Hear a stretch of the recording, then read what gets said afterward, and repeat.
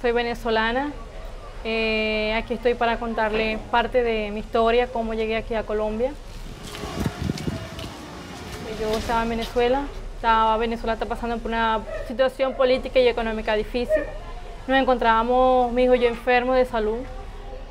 Tomé la decisión de vender mi teléfono, triste y dolorosamente, porque es un medio de comunicación que yo siempre uso.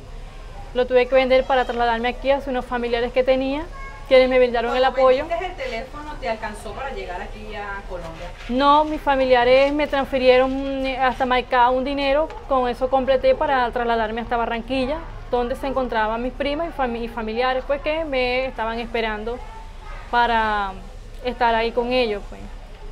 Luego de allí pues emprendí lo que es el camino hasta buscar un empleo, buscar qué hacer, Todavía no se me ha dado, pues esperando que como entré de manera irregular no pude sellar, entonces eh, me moví por varias instituciones para que me puedan ayudar con, la, con el permiso. Pues. ¿Se te hizo fácil obtener un medio de comunicación aquí?